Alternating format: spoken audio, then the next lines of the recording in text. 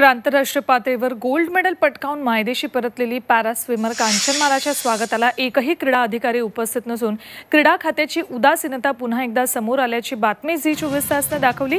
या वृत्ताची क्रीडा मंत्री विनोद तावडे यांनी दखल घेत चौकशीचे आदेश दिलेत.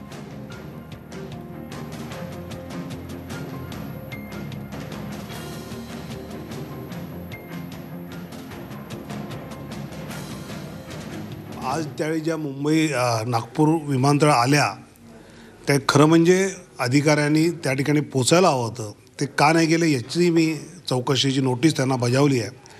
आणि खरं म्हणजे आम्ही राज्यातल्या सगळ्या शिक क्रीडा अधिकारी उपसंचालकांना कळवलं आहे की जागतिक मेडल मिळवून येणाऱ्या कुठल्याही खेळाडूच्या रेल्वे स्टेशन असो किंवा विमानतळ असो जे भारतात जिथे पहिलं आगमन होईल त्या ठिकाणी शासनाच्या वतीने स्वागत करायला अधिकाऱ्यांनी उपस्थित राहिलं पाहिजे तसं आज ते राहायला पाहिजे होतं.